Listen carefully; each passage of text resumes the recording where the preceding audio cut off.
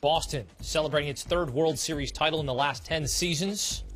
Festivities beginning at Fenway Park and the Duck Boat Parade rolling through the streets of Boston, including Boylston Street, site of the Boston Marathon bombings. The parade stopping for a tribute at the finish line of the race. Jared Saltalamacchia and Jonny Gomes holding up jerseys. 617 represents the Boston area code.